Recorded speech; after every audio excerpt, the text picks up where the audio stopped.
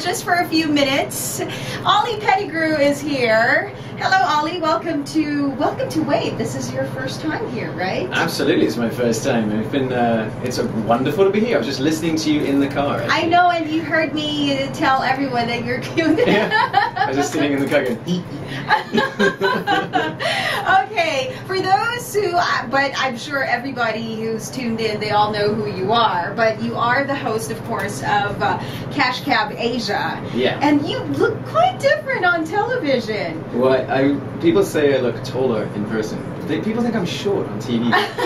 Maybe because you're always sitting down. I don't know. Like in, in Cash Cab. But anyway, so uh, you're here in the Philippines just for a little vacation, right? well, sort of. I was in uh, a good friend of mine, Mark Nelson. Mhm, He had mhm. his birthday. Oh. And we all went down to Boracay. There was like 20 of us, and we had a big birthday bash. Nice, nice. But uh, at the same time, it's like um, you know, all my shows are you know just not Cash Cab Asia. There's know, Sony Lifestyle. I know, you- Lonely Planet, you've got a and lot of shows. Keypad, but they all air in the Philippines. They all air all over Yes. um, Asia. Uh-huh. And I live in Singapore, and I thought, well, I've got to stop just sticking to Singapore. So I'm going to start spending a lot more time in Manila, coming over, sort of trying to host events and Mhm. go to parties and things like that. Because I've got a lot of friends. They all live here, so Mm. you know, I think it'd be a smart thing to do. Would be come and you know expand my market to the Right. Philippines because. So many people, you know, all my Twitter followers and, and Uh-huh. my Facebook fans, it's it's over 60% from the Philippines. Really? Yes, the Pinoys love me.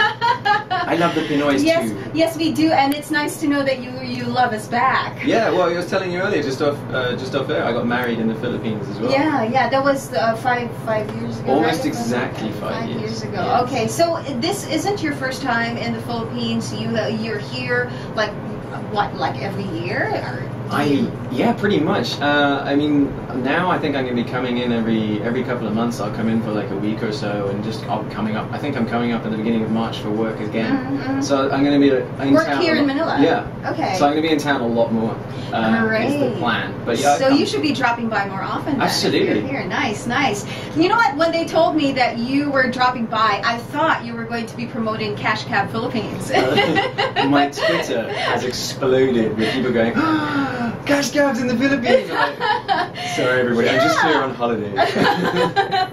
so, uh, so no chance of having Cash Cab Philippines at all. No, there's no, I wouldn't rule that out. We're already talking because we shot the first season, Okay. um, and we're already talking about a season two. Fingers crossed. You know, it seems to be doing quite well, but we want to sort of uh, come up with ideas. You know, to do a local special sort of thing, like because it's it's not possible to ship the cab. You know, Mhm. that costs a lot of money. Okay, So we yes. thought we're just trying to come up with some funny ideas where we could come to the Philippines and let people play like a Pinoy version or a crazy version. Yeah, why not?